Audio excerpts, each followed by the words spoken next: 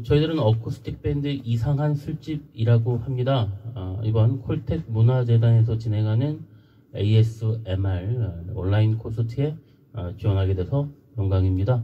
저희들이 연주할 곡은 Coffee and You, 커피 그리고 아름다운 그대라는 곡이고요. 어, 저희들의 자작곡입니다.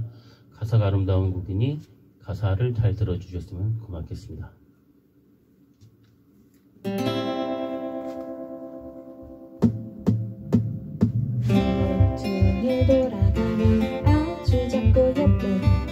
커피 가게 가 있죠.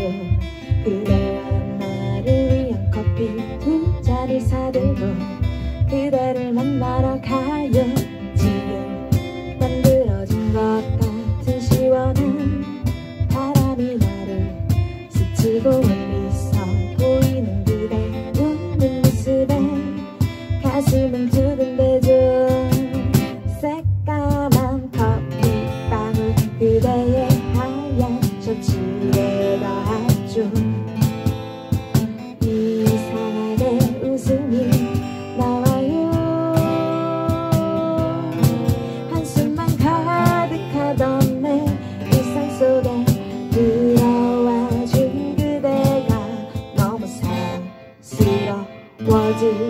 뿐이죠. 라랄라 저 하늘 부른 한 스푼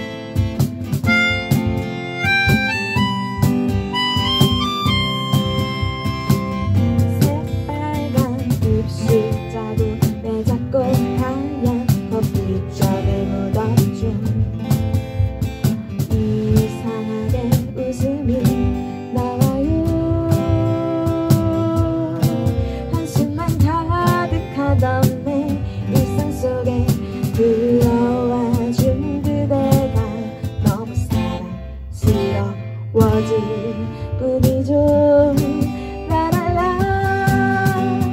저 하늘 부른 한 스푼